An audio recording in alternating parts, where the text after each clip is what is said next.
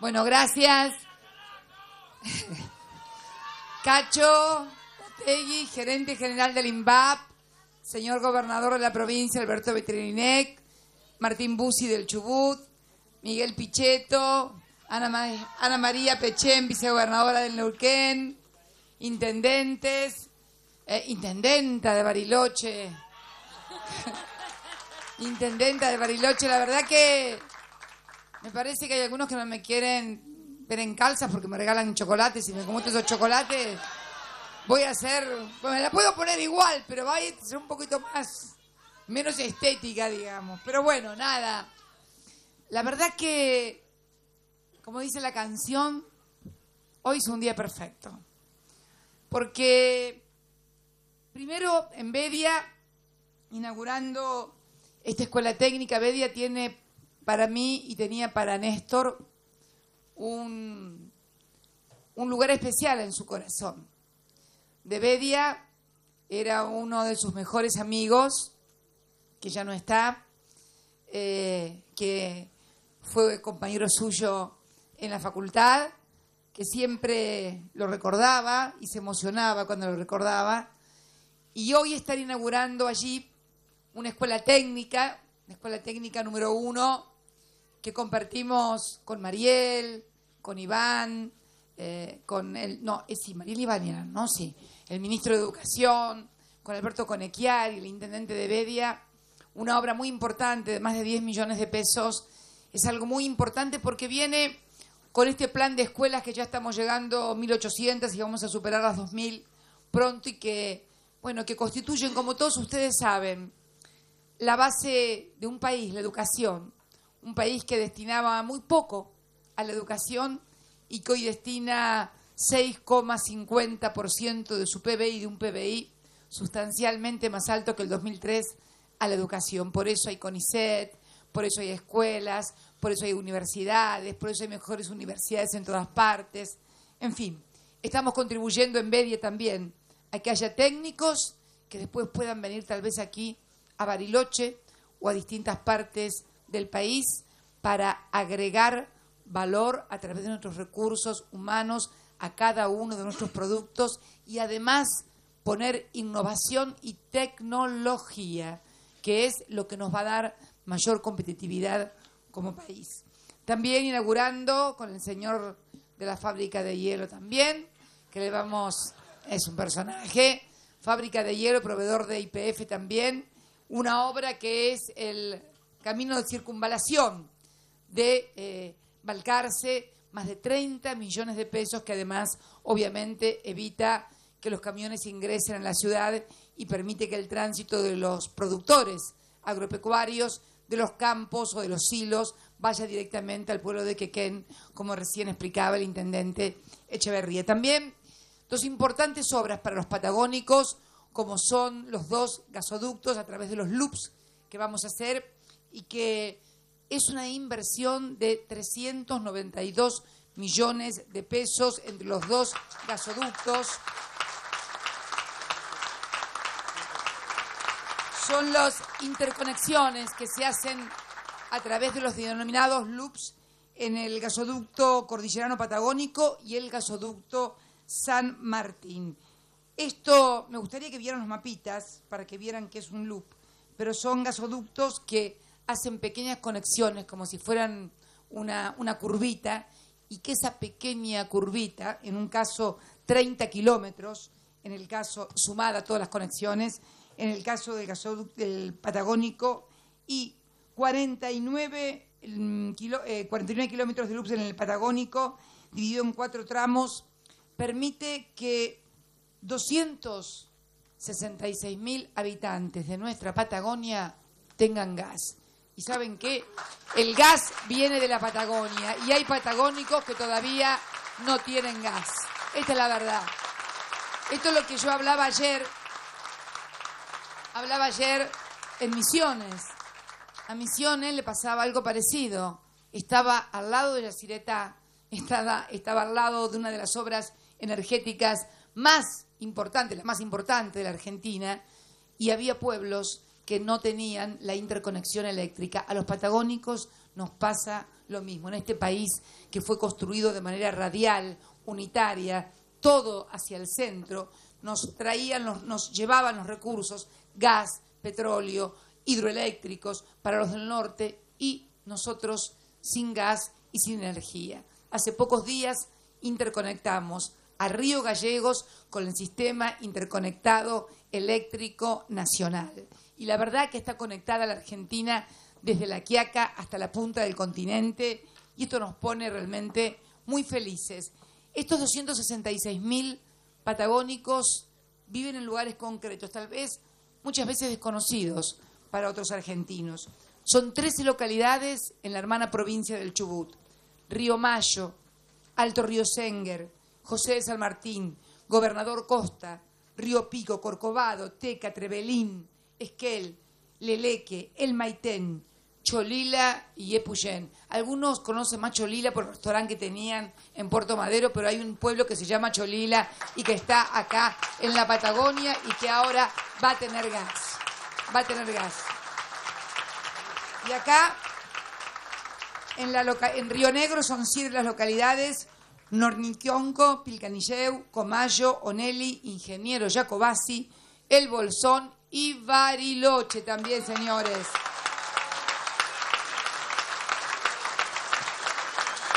Se imaginan además, se imaginan además el altísimo impacto económico en una industria sin chimeneas como es el turismo. No es solamente calidad de vida para quienes viven acá, sino también adelanto económico, incremento de la actividad económica, potencialidad.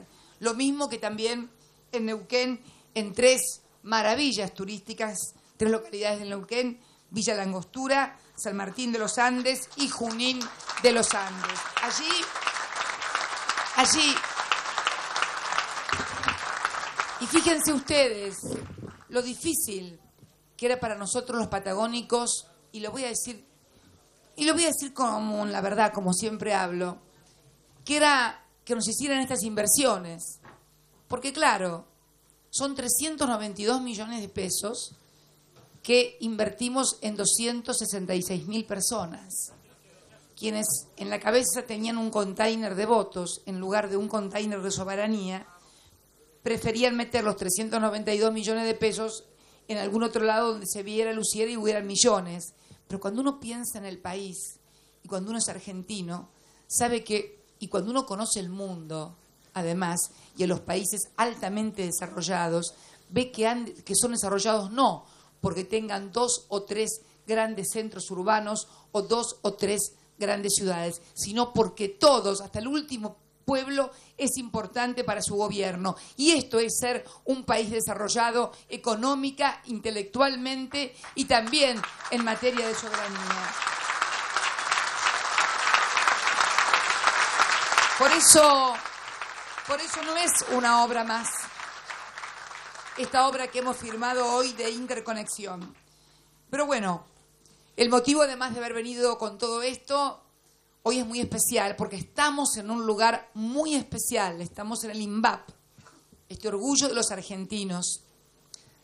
Cacho recién decía que eran allá por el año 2003 cuando Néstor llegó al gobierno apenas 311 empleados y hoy son 1.111 empleados. Pero yo te doy otro dato. Antes facturaban 30 millones y ahora están facturando 200 millones de dólares. Entonces, esto, porque no se me olviden, son las políticas. Yo soy una, una loca de la ciencia y tecnología. Nunca entendí una pepa de química, ni, ni pienso ponerme a estudiar quédense tranquilos, física, pero me fascina todo lo que sea la ciencia, desde la ciencia dura, durísima, que es esta de radares, de satélites, de lanzadores, hasta la ciencia de la vida, como es la biotecnología, que también permite agregar mucho valor y darnos innovación tecnológica. Pero yo quiero que los argentinos sepan lo que estamos haciendo hoy aquí para que mañana nadie hable si tenía un collar, si la onda se me había caído al costado o si tenía botas. Eh, por favor, yo le pido a todos que le muestren a los argentinos lo que hoy hemos inaugurado. Esto que está aquí atrás mío y que es el Centro de Ensayos de Alta Tecnología, SEAT, que es una asociación entre el INVAP, que ya estaba en el año 2003, pero que como decía él, pasaban momentos difíciles los científicos en el 2003, los que quedaban, los que quedaban en el país. Como muestra de ello, si se me permite una digresión, voy a contar un regalo que me hizo la intendenta, que es una artesanía hecha de, por una firma que quiero nombrarla. Es una firma que se llama Florandina. Ustedes dirán, son artesanos. Es una hoja, ya sé, ya lo voy a, decir. Ah, viste, Boscacho no sabía.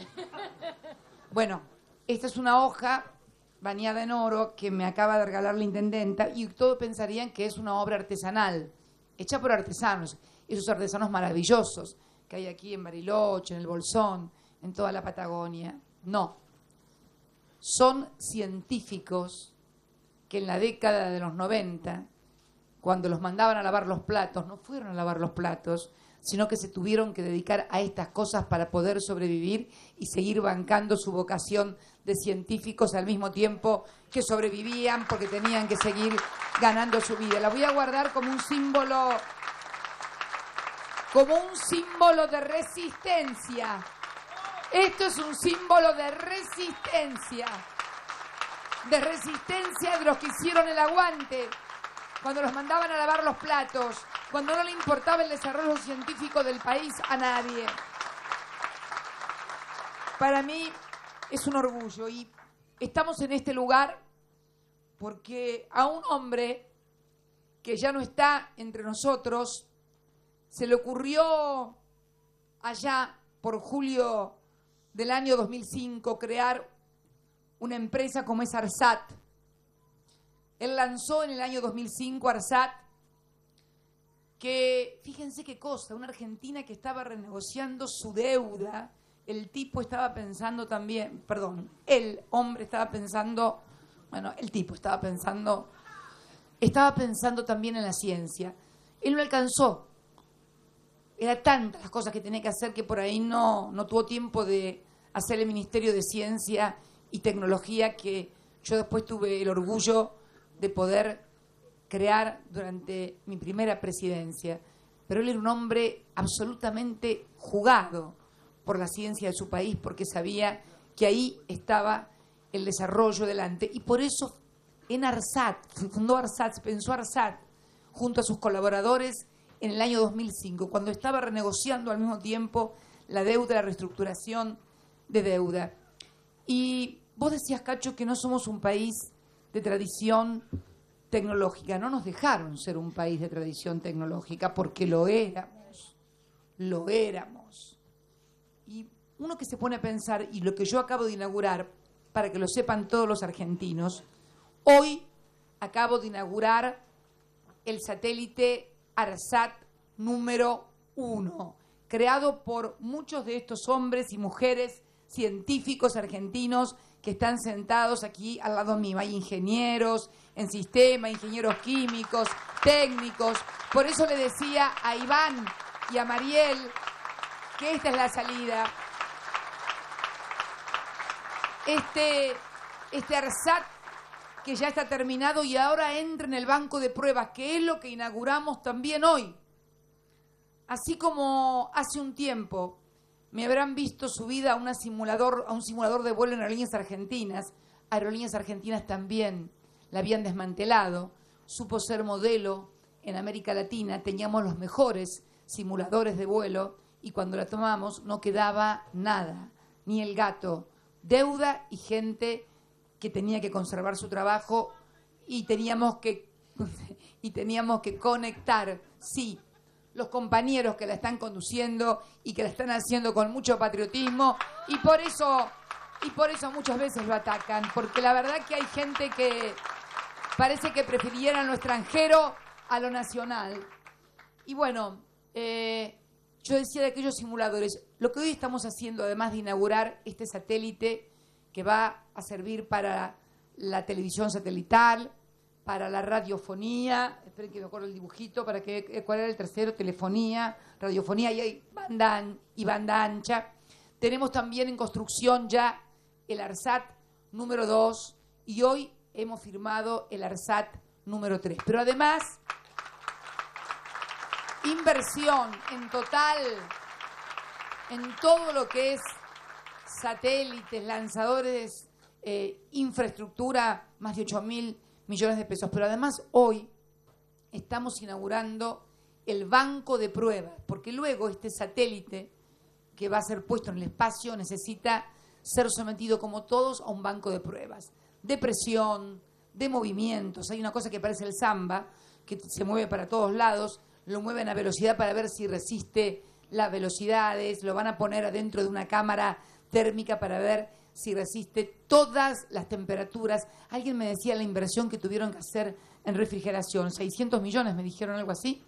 Eh, no está el técnico, pero me había dicho una inversión para esa cámara en refrigeración de casi 600 millones. ¿600? ¿Estoy correcto? Ay, ¿seis? Se me fue un poquito la mano. Bien, no importa, no importa. Bueno, soy así, un poquito exagerado. Pero en total toda la inversión que hemos hecho para el tronador, para los dos satélites eh, que van a medir también la humedad, entre otras cosas, para que se entienda. ¿Cómo se llama en Baroto? ¿Dónde está Baroto? sea, ¿Cómo se llama? SAOCOM. Un, eh, B, eh, uno A y uno B me dijo, ¿no es cierto? SAOCOM, con esos satélites vamos a medir la humedad de la tierra, no solamente en la Argentina, sino también podemos hacerlo en todas las otras regiones. ¿Qué permite esto? Sirve para la agricultura, sirve para la forestación, sirve para prevenir incendios, sirve para darle mayor valor agregado y que nuestra gente que produce y que invierte en la tierra tenga previsiones científicas acerca de lo que le puede venir de la naturaleza. Y el tronador, el tronador que vamos a lanzarlo desde Bahía Blanca y además este centro que estamos inaugurando hoy, porque antes los satélites teníamos que ir a probarlos a Brasil, pero la calidad, la calidad de este satélite que hoy estamos haciendo no lo podríamos hacer en Brasil, tendríamos que haberlo llevado a Francia. ¿Qué decidimos entonces? como decía Cacho, como esto no va a ser para un satélite ni dos, sino que es una política de Estado porque queremos ser proveedores de alto material tecnológico en materia satelital, radares, lanzadores. Tenemos nuestro propio banco de pruebas, nuestro propio banco de pruebas que hoy estamos inaugurando y que les aseguro, cuando uno está allí, y seguramente van a ver las imágenes más tarde, tienen la sensación de estar en la NASA. Y digo esto con el prejuicio de que significaría decir, bueno, que no nos sentimos capaces los argentinos de hacerlo. Y yo creo que algo de eso hubo en la Argentina, desde afuera y desde adentro. Porque la Argentina había alcanzado gran desarrollo. A mí me tocó estar hace pocos días lo recordaba Cacho en la ONU, discutiendo la cuestión siria, discutiendo las armas, discutiendo la industria armamentística, pero nuestro país también, nuestro país también había desarrollado grandes recursos en materia de defensa. Y el Baroto lo sabe muy bien. Argentina, sus recursos humanos, sus fuerzas armadas, habían, esto mañana me va a valer alguna editorial seguramente en contra, pero lo voy a decir porque lo tengo acá en el corazón desde hace mucho tiempo y tenía necesidad de decirlo. Nuestras Fuerzas Armadas y nuestros científicos habían desarrollado un misil tierra-tierra que se llamaba Cóndor, que tenía un alcance de más de mil kilómetros, Baroto, ¿no es cierto? ¿En, ¿Cuánto? Bien, mil en, Falda del Carmen. Y, bueno, por esas cosas eh, fuimos obligados a desmontarlo. Y la verdad es que nosotros no tenemos vocación de hacer armas de guerra. Yo lo dije por convicción y lo sigo sosteniendo. Pero ¿saben qué? Creo que en el fondo, creo que en el fondo no era tanto el arma de guerra lo que le parecía molestar a algunos, sino que alcanzáramos un alto desarrollo tecnológico que nos tornara competitivos como vamos a hacer con satélites, con reactores nucleares, que nos ha tocado muchas veces perder una licitación, no perderla, ganarla y no ser adjudicada porque se la habíamos ganado a una potencia de primer orden como nos pasó en Europa y todos sabemos. Por eso digo, por eso digo, por eso digo que lo que hoy estamos inaugurando aquí es soberanía, además de alta tecnología, contenidos nacionales hechos por argentinos y también una renovación generacional. Cacho hablaba de Baroto para que no lo pusiéramos en el mismo satélite, no sé por qué razón, pero yo me encontré, como ya lo he dicho en otras oportunidades, pero esta vez más, porque cada vez que vengo veo más jóvenes, técnicos, ingenieros, ingenieras más jóvenes, en la CONAE, en el INVAP, en el Balseiro, y la verdad que me siento muy orgullosa de poder ser la presidenta de la renovación generacional científica que se merece la Argentina y que nos merecíamos seguramente todos. Y hablando de, del señor, me acordé que era proveedor de IPF, el del hielo, que me dijo, me pasó un aviso, no sé si querrá que le diga algo a Galucho, que, proveedor de IPF. Hoy escuchaba, alguien me comentaba, porque yo no escucho radio a la mañana, leo los diarios y ya con eso me alcanza y me sobra. Este, pero bueno, una persona que tiene un poco más de tiempo que yo, eh, escucha las radios y yo le pregunto, bueno, ¿qué dijeron? ¿Qué están diciendo?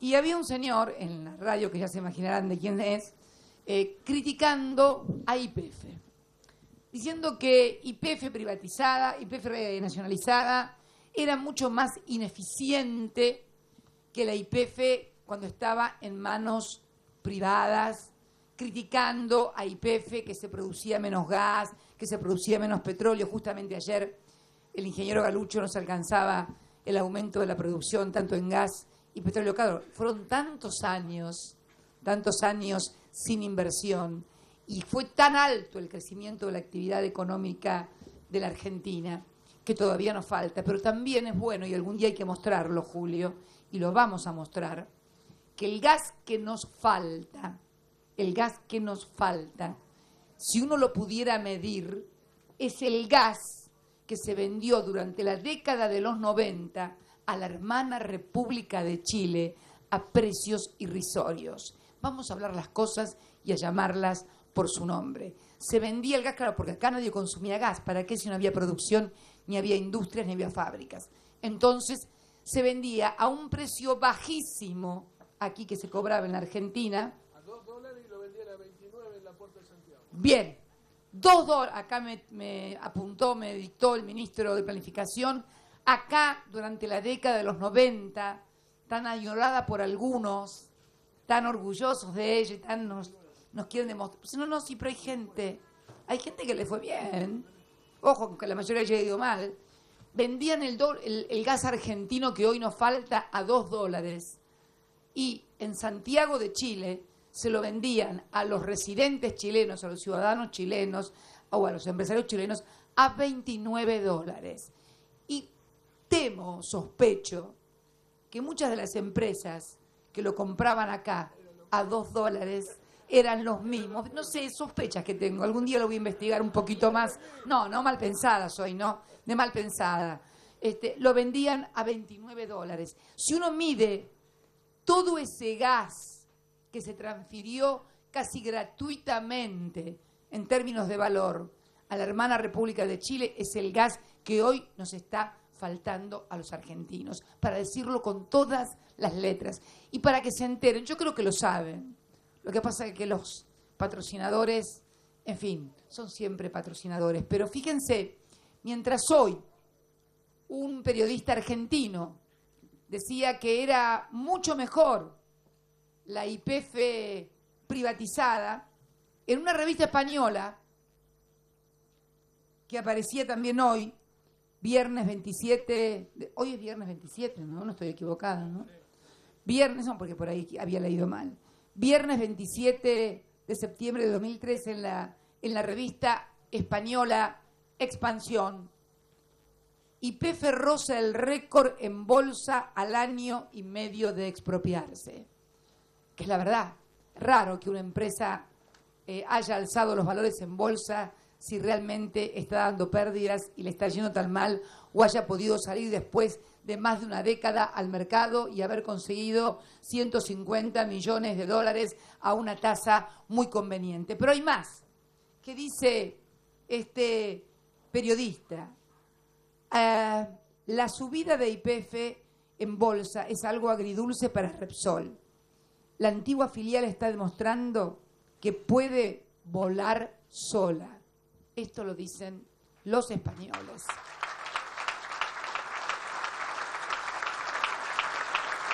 Dice, la antigua filial, la antigua filial del grupo español ha superado ampliamente el valor que tenía en el momento de la, de la nacionalización y está rozando máximos históricos. Repsol también ha recuperado el valor que perdió. Así que yo creo que esto va a ser conveniente para todos nosotros. Y PF cotizaba ayer, por ayer se refiere al día de ayer, a 189 pesos argentinos por título frente a los 116 con los que acabó la jornada del 16 de abril del 2012, cuando decidimos la recuperación de la soberanía hidrocarburífera. El artículo sigue siendo muy laudatorio de cómo se recuperó YPF. Un español, un español que debe estar sufriendo y que realmente sabemos cómo sufren hoy España por el estrangulamiento de la deuda, los ajustes y lo que tanto nos tocó vivir a los argentinos. Le voy a hacer, le voy a enviar este recorte al, periodista porque a lo mejor estoy segura que no lo leyó. Seguramente leyó algún otro, otro editorial que le escribió alguien sin tener los datos, sin tener los datos. Pero seguramente el ingeniero Galuccio la semana que viene va a dar un pormenorizado informe a todos los argentinos de cuántos equipos están hoy trabajando en IPF y lo que hemos logrado recuperar, que falta mucho y cómo no te va a faltar mucho, si se la llevaban toda y no te dejaban nada acá.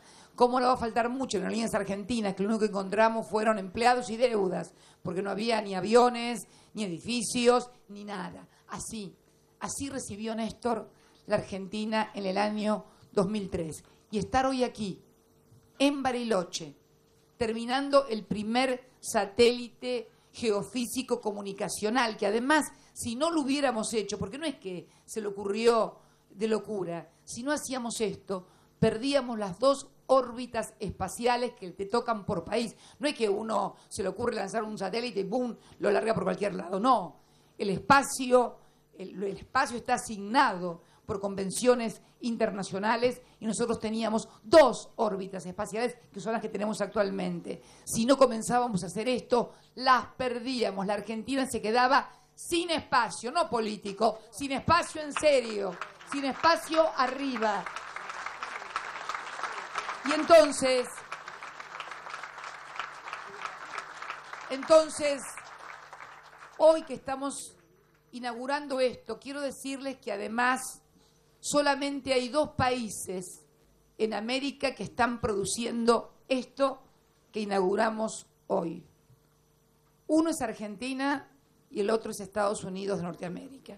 Para que comparo porque vieron que siempre nos andan comparando, pero la verdad que yo me sentiría muy orgullosa también que estuviera y me gustaría que también otros países hermanos de Latinoamérica pudieran tener las mismas oportunidades. Y lo vamos a hacer porque vamos a trabajar fuerte también con Brasil en el, en el tronador, eh, como lo estamos haciendo, como lo hicimos, lo acordamos con Lula y también lo vamos a hacer. Pero lo importante, lo importante es saber argentinos lo que somos capaces de hacer y lo que estamos haciendo. No solamente con palabras, sino con realidades. Hoy estamos inaugurando este maravilloso satélite comunicacional único realmente y también este banco de pruebas que además también es el más alto, me decía hoy uno de los chicos que me guiaba, y es donde están los, ay, ¿cómo son esas cosas que detectan? Escáneres. Bueno, no soy científica, no me critiquen. Eh, están los escáneres. ¿Por qué tan alto? Si es el más alto, me dijo, del mundo ¿Me dijo? ¿El escáner más alto del mundo? Ahí está. ¿Vos? ¿Vos me dijiste?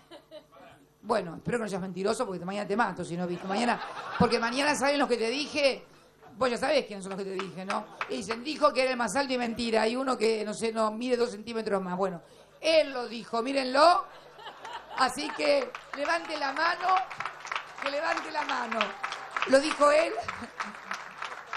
La verdad, y además me explicó, porque yo pregunto todo, bueno, eh, me explicó todo, como están, están allá a punto de ingresar el satélite dentro del banco de presión, que va a estar 45 días ahí sometido al vacío, al vacío que tiene el espacio, con distintas temperaturas. Y me explicaba, una adentro, lo van a ver en las imágenes, es como las hueveras esas que ponen en las radios para el tema del sonido. Y me explicaba también eh, que eran, sí, sí, parecen las hueveras de las radios. Eh, algunos son pobres y las tienen en serio, como con hueveras. Yo he estado en alguna radio de esas allá en Santa Cruz.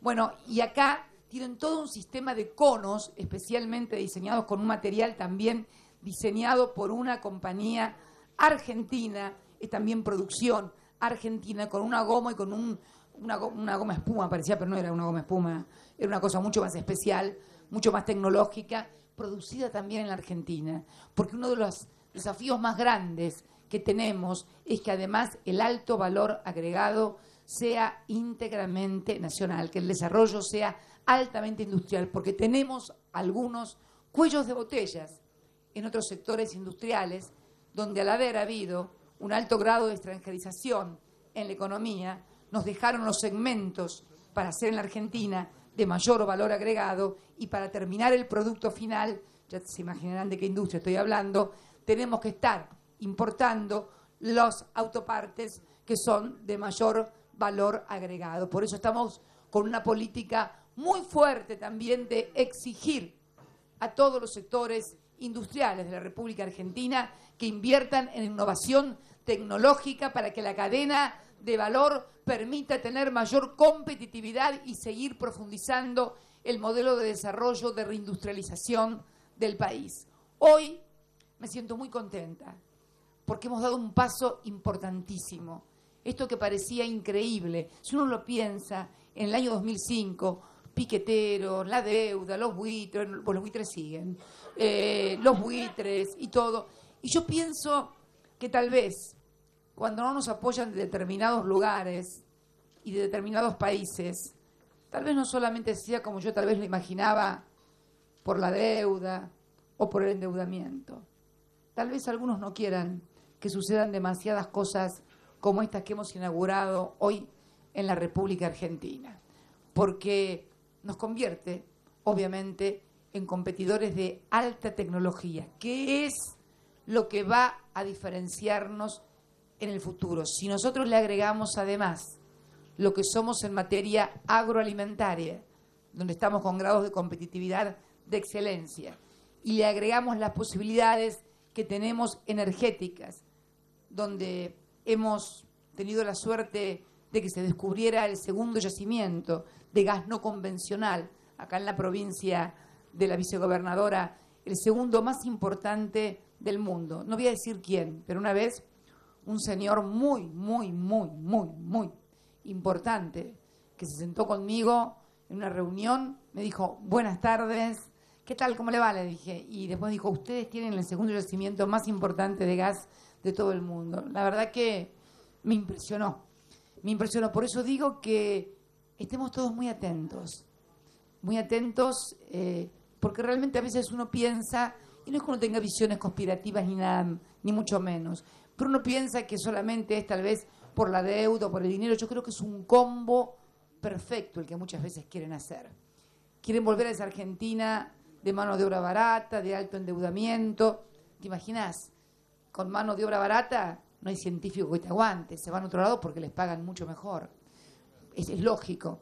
Son pocos los que se le da por hacer artesanías. La mayoría se va, sobre todo si son jóvenes. Si además eh, no tenés recursos, ¿de dónde sacas la plata para hacer este edificio, este centro de, de, prueba, este banco de prueba que hemos hecho de satélites? ¿Dónde sacás la plata para hacer los satélites? Los contratos que firmamos con INVAP, cómo INVAP pasó de 30 millones de dólares de facturar a 200 millones de dólares. Entonces, todas estas cosas juntas, potencia alimentaria, eh, recursos energéticos, recursos hídricos, recursos humanos altamente calificados y reconocidos en todo el mundo, desarrollo nuclear y además, ¿saben qué? Dirigentes que estamos dispuestos a plantarnos frente a quien sea para defender los intereses de los argentinos, porque lo vamos a seguir haciendo en todos los foros, todo el tiempo.